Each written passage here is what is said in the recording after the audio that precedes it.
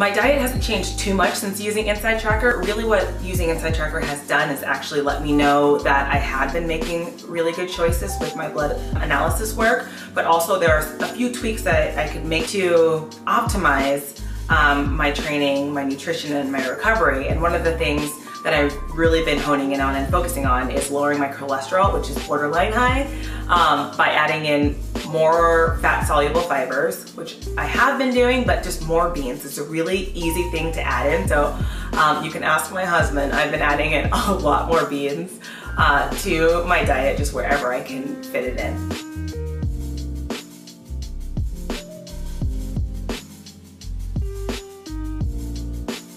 Inside Tracker has helped me towards my goals with longevity, the reassurance that anybody needs, the confidence that anybody needs when they are on the path towards goodness and wellness and just knowing that most of my markers were relatively good, but the ones that were borderline higher or not optimal